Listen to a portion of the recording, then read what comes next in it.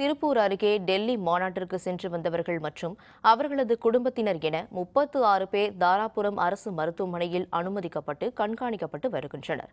டெல்லியில் நடைபெற்ற மாநாட்டில் பங்கேற்று திரும்பிய திருப்பூர் மாவட்டம் தாராபுரத்தைச் சேர்ந்த ஒன்பது பேர் அவரவர் வீடுகளிலேயே தனிமைப்படுத்தப்பட்டு கண்காணிக்கப்பட்டு வந்தனர். இந்நிலையில் தாராபுரம் மற்றும் சுற்றுவட்டார பகுதிகளில் தனிமைப்படுத்தப்பட்டவர்கள் அடிக்கடி வெளியே சென்று வருவதாக சுகாதாரத்துறையினருக்கு தகவல் கிடைத்தது. இதையடுத்து டெல்லி சென்று வந்த ஒன்பது பேர் மற்றும் அவர்களது குடும்பத்தினர் என முப்பத்து ஆறு பேர் தாராபுரம் அரசு மருத்துவமனையில் அனுமதிக்கப்பட்டு கண்காணிக்கப்பட்டு வருகின்றனர்.